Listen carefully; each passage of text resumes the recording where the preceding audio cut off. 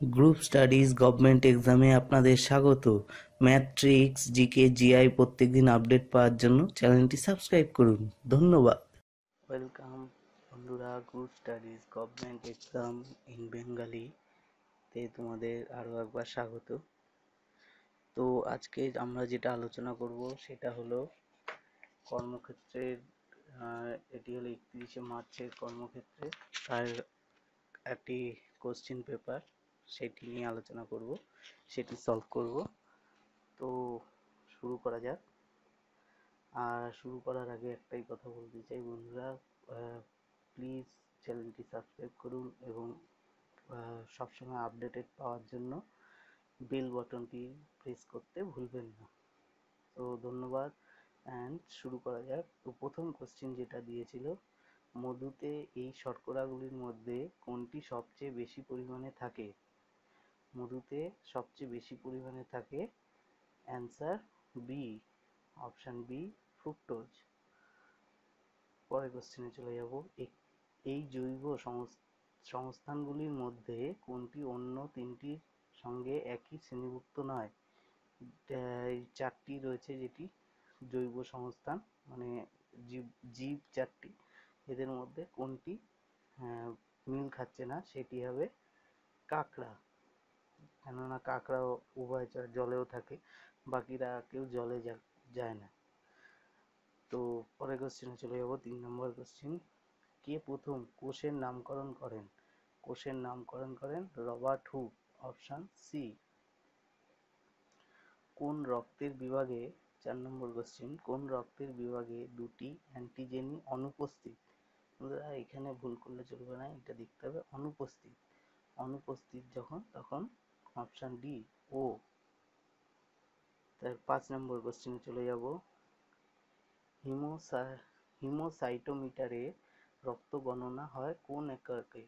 তাহলে রক্ত গণনা, এখান থেকে আর একটা কোশ্চেন আমরা পেয়ে যাচ্ছি। রক্ত গণনা করার যে যন্ত্র, সেটির নাম হলো হিমোসাইটোমিটার। তো, ক- কি হিসাবে মাপা হয়? Cubic millilitre. Option D. নবজাতকের দেহে কয়টি অস্থি পাওয়া যায়?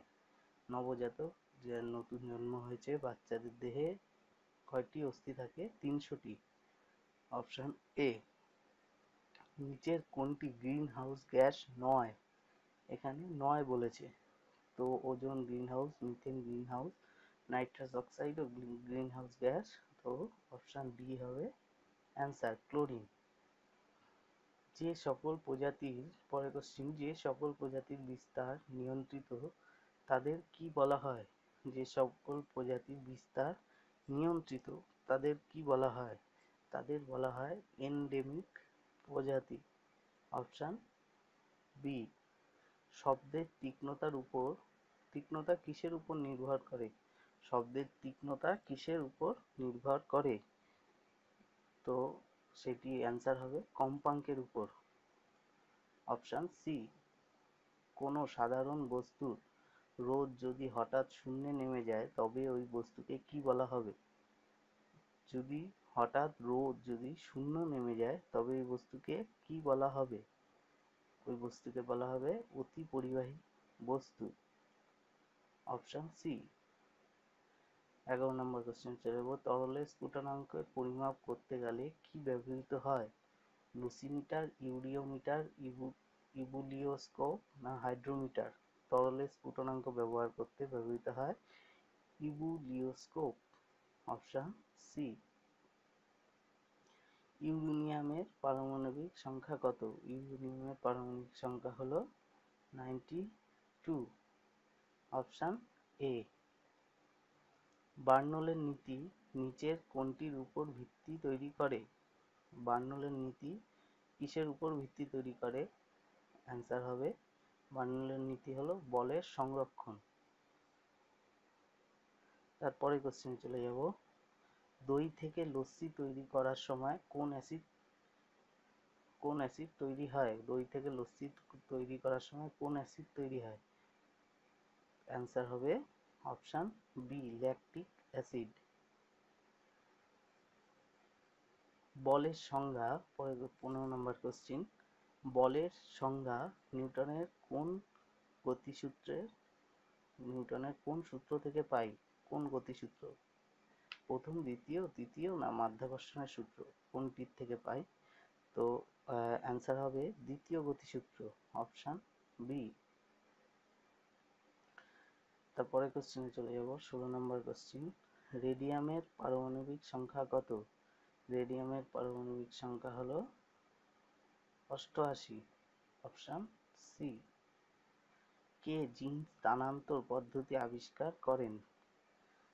তো অ্যান্সার হবে জিন স্থানান্তর পদ্ধতি জিন স্থানান্তর পদ্ধতি আবিষ্কার করেন Robert Boyer option B Herbert Boyer. কোন, কোনো কঠিন বস্তুকে উত্তপ্ত করলে বস্তুটি কোনটি বেশি সম্প্রসারিত হবে? কোন, কোনো বস্তুকে উত্তপ্ত করলে বস্তুটি কোনটি বেশি সম্প্রসারিত হবে? দৈর্ঘ্য, ক্ষেত্রফল, আয়তন নাকি এদের কোনটি সঠিক নয়? তো অ্যান্সার হবে অপশন সি আয়তন। আয়তনে সম্প্রসারিত হবে বস্তুটি। উনিশ নম্বর কোশ্চেনে চলে যাব। রয়েছে কোনো কিছুকে কোনো কিছু কিছু না থেকে সৃষ্টি করা কোন সূত্রের বিরুদ্ধে? মানে সব কিছু পৃথিবীতে, সব কিছু পৃথিবীতে জানা সব যা আছে, সব কিছু কোনো কিছুর থেকে একটা সৃষ্টি হয়েছে। সেইটি হলো কোন সূত্রে রয়েছে আর কি, সেটি জিজ্ঞেস করা হয়েছে। তো সেটি অ্যান্সার হবে অপশান বি ভর শক্তি সংরক্ষণ সূত্র থেকে। একটি কয়েন যাকে পাত্রের তলদেশে রাখা হয়েছে, পাত্রটিকে ধীরে ধীরে জলপূর্ণ করলে উঠে আসে বলে মনে হয়। এর কারণ কি? আলোর প্রতিসরণের জন্য এটি হয় অপশান এ। কোন লেন্সের ধনাত্মক ক্ষমতা হয়? ধনাত্মক ক্ষমতা হয় উত্তর লেন্সের জন্য, অপশান বি। কোন ধরনের চুম্বক দুর্বল চৌম্বক ক্ষেত্রেও শক্তিশালীভাবে চৌম্বকত্ব হয়। কোন ধরনের চুম্বক সব থেকে শক্তিশালী আর কি সেটি জিজ্ঞেস করা হয়েছে বেসিক্যালি তো অ্যান্সারটি হবে? ফেরো ম্যাগনেটিক চুম্বক। অপশান সি জীবাশ্ম পরে কোশ্চেন চলে যাচ্ছি। জীবাশ্ম জ্বালানি দহন করলে কি উৎপন্ন হয়? জীবাশ্ম জ্বালানি দহন করলে নাইট্রোজেন অক্সাইড উৎপন্ন হয় NO2 টু জলচক্রের সকল প্রতিক্রিয়ার পর জলের কত শতাংশ মানুষ ব্যবহারের উপযুক্ত জন্য উপযুক্ত? পৃথিবীতে জলচক্রের সকল প্রতিক্রিয়ার পর জলের কত শতাংশ মানুষ ব্যবহার করতে পারে? এটি হলো থ্রি পার্সেন্ট বেরি বেরি রোগ হয় কোন ভিটামিনের অভাবে? বেরি বেরি রোগ হয় ভিটামিন বি ওয়ানের অভাবে। অপশান সি কোন পৌষ্টিক রসের কোনো উৎসেচক থাকে না? কোন পৌষ্টিক রসে কোনো উৎসেচক থাকে না? অ্যান্সার হবে পিত্তরসে পিত্তরসে কোনো উৎসেচক থাকে না। অপশান এ ব্যাকবোন ব্রেকবোন জ্বর সাধারণত কি নামে পরিচিত? ব্রেকবোন জ্বর বলা হয় ডেঙ্গু জ্বরকে। সো অপশান বি হবে অ্যান্সার ইসিজি কোন অঙ্গের কার্যকে পরিমাপ করে? ইসিজি দ্বারা কোন অঙ্গের কার্য পরিমাপ করা হয়? হৃৎপিণ্ডের স্পন্দন মাপার যন্ত্র হলো ইসিজি তো অ্যান্সার হবে হৃৎপিণ্ড। কোন রঞ্জক পদার্থ উদ্ভিদকে অতি বেগুনি রশ্মি থেকে বাঁচায়? অতি বেগুনি রশ্মি থেকে বাঁচায় কোন রঞ্জক পদার্থ? তো এখানে অ্যান্সার হবে জ্যান্থোফিল। জ্যান্থোফিল উদ্ভিদকে অতিবেগুনি রশ্মি থেকে বাঁচায়। এবার কিছু কারেন্ট অ্যাফেয়ার্স পড়ব বন্ধুরা আমরা। ভারত সরকারের উড়ান প্রকল্পের পুরো নাম কি? উড়ানের, উড়ান শব্দটি পুরো কথাটি অর্থ কি? উড়ে দেশ কি? আম নাগরিক। অপশান বি বত্রিশ নম্বর কোশ্চেন ভারতের জাতীয় দলের অধিনায়ক অনুপ কুমার কোন খেলার সঙ্গে যুক্ত? অনুপ কুমার কোন খেলার সঙ্গে যুক্ত? কবাডি। জাতীয় সম্মিলিত জাতিপুঞ্জ দিবস বছরের কোন দিনটি উদযাপিত হয়? সম্মিলিত জাতিপুঞ্জ দিবস কোন দিনে উদযাপিত হয়? আঠাশে অক্টোবর অপশন সি সম্মিলিত জাতিপুঞ্জ দিবস উদযাপিত হয় আঠাশে অক্টোবর। আধার কার্ড পরিষেবার জন্য কোন রাজ্য প্রথম চালু হয়? কোন রাজ্যে প্রথম চালু হয় আধার কার্ড? আধার কার্ড প্রথম চালু হয় মহারাষ্ট্রে। উর্জিত প্যাটেল রিজার্ভ ব্যাংকের কত কততম গভর্নর? উর্জিত প্যাটেল হলেন রিজার্ভ ব্যাংকের চব্বিশতম গভর্নর অপশন এ, চব্বিশতম গভর্নর। কমনওয়েলথ গেমস দু হাজার বাইশ কোথায় অনুষ্ঠিত হবে? কমনওয়েলথ গেমস দু হাজার বাইশ সালে অনুষ্ঠিত হবে। অপশন সি, দক্ষিণ আফ্রিকার ডারবানে। কমনওয়েলথ গেমস অনুষ্ঠিত হবে দু হাজার বাইশে দক্ষিণ দক্ষিণ আফ্রিকার ডারবানে। সম্প্রতি জনহিত পোর্টাল চালু করল কোন রাজ্য সরকার? কোন রাজ্য সরকার জনহিত পোর্টাল চালু করল? অ্যান্সার হবে তেলেঙ্গানা সরকার। অপশন বি প্রথম খেলোয়াড় হিসাবে এবছর কে অস্কার পুরস্কার পেলেন? প্রথম খেলোয়াড় হিসাবে এবছর কে অস্কার পুরস্কার পেলেন? তো এবছর অস্কার পুরস্কার পেলেন খেলোয়াড় কেরো ব্রায়ান্ট। সম্প্রতি ড্রিম টু ড্রিম টু গেমের ব্র্যান্ড অ্যাম্বাসাডার কে হলেন? ড্রিম টু গেমের ব্র্যান্ড অ্যাম্বাসাডার হলেন Mahendra Singh Dhoni. Political and public life award দু হাজার আঠেরো পুরস্কার পেলেন কোন ভারতীয়? Political and public life award পেলেন হলো শত্রুঘ্ন সিনহা সিনহা। দু হাজার আঠেরো। চট্টগ্রাম অস্ত্রাগার লুণ্ঠনের নেতা কে ছিলেন? চট্টগ্রাম অস্ত্রাগার লুণ্ঠনের নেতা ছিলেন সূর্য সেন মাস্টারদা সূর্য সেন।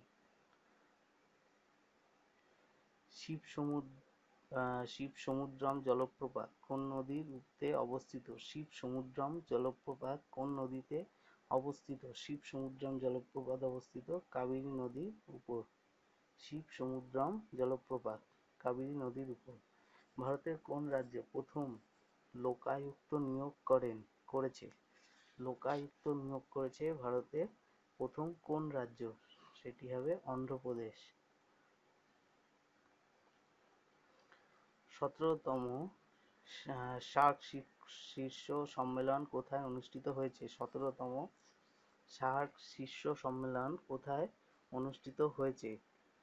এটি অনুষ্ঠিত হয়েছে মালদ্বীপে। অপশন এ, দুহাজার সতেরো সালে সমীক্ষা হিসাবে গ্লোবাল ট্যালেন্ট কম্পিটিভনেস ইন্ডেক্সে ভারতের স্থান কত? দু সালের সমীক্ষা হিসাবে গ্লোবাল ট্যালেন্ট কম্পিটিভনেস ইন্ডেক্সে ভারতের স্থান হলো বিরানব্বইতম। ভারতের বাইশতম মুখ্য নির্বাচন অধিকারী হিসাবে কে নিযুক্ত হলেন? নিযুক্ত হয়েছেন মুখ্য নির্বাচন অধিকারিক মুখ্য নির্বাচন অধিকারী কততম? বাইশতম। তো তিনি কে নির্বাচিত হয়েছেন? ওম প্রকাশ রাওয়াত। অপশন সি, সম্প্রতি কোন রাজ্যে শহীদ গ্রাম বিকাশ যোজনা সূচনা হয়েছে? শহীদ গ্রাম বিকাশ সূচনা সূচনা হয়েছে যোজনার সূচনা হয়েছে ঝাড়খণ্ডে। অপশন দু হাজার কুড়ি কুড়ি সালে বন্য, বিশ্ব বন্যপ্রাণী সম্মেলন আয়োজন দেশ কোনটি? দু হাজার কুড়ি সালে বিশ্ব বন্যপ্রাণী সম্মেলনের আয়োজন দেশ কোনটি? কোনটি, কোন দেশ বিশ্ব বন্যপ্রাণী সম্মেলন করেছে? সেটি হলো ভারত। বিশ্ব বন্যপ্রাণী সম্মেলন করেছে ভারত। নীতি আয়োগ নীতি আয়োগের এখন সিইও কে? বর্তমান সিইও নীতি আয়োগের হলেন অমিত অমিতাভ কান্ত। অমিতাভ কান্ত অমিতাভ কান্ত, নীতি আয়োগের সিইও দু হাজার আঠেরো সালে অনূর্ধ্ব উনিশ বিশ্বকাপে ক্রিকেট জিতলো কোন দেশ? অনূর্ধ্ব উনিশে বিশ্বকাপ ক্রিকেট জিতলো অপশান ডি, ভারত। অনূর্ধ্ব উনিশে বিশ্বকাপ ক্রিকেট জিতেছে ভারত। তো বন্ধুরা আজকে এই অবধি কারেন্ট অ্যাফেয়ার্স এবং জিকে নিয়ে আলোচনা করলাম। এবং যদি অঙ্কের সলভগুলো তোমরা দেখতে চাও তো সেটি কমেন্ট করে জানাও এবং ভিডিওটি ভালো লাগে অবশ্যই কমেন্ট করে জানাবে। এবং লাইক ও শেয়ার করতে ভুলবে না। তো আর পরবর্তী আপডেট পাওয়ার জন্য চ্যানেলটি অবশ্যই সাবস্ক্রাইব করো। Thank you